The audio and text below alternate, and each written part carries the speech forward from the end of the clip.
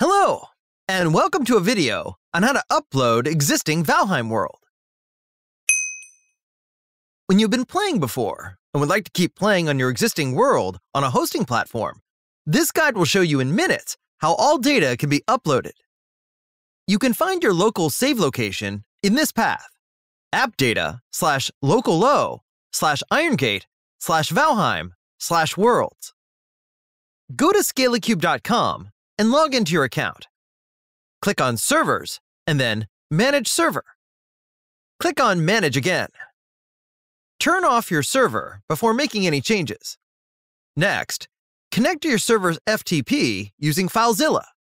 You can find your FTP details at the bottom of the page. Once connected to your FTP, go to Valheim config slash Unity 3D slash Irongate slash Valheim slash worlds.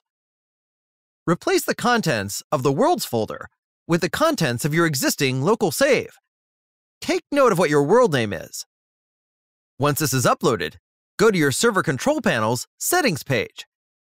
Copy your world name into the map name field and press save. It has to match the ones inside your worlds folder. Go back and start your server back up. Your existing world is now uploaded.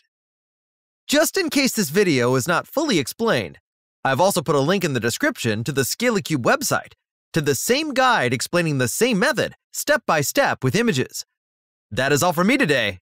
Have a nice day. Goodbye.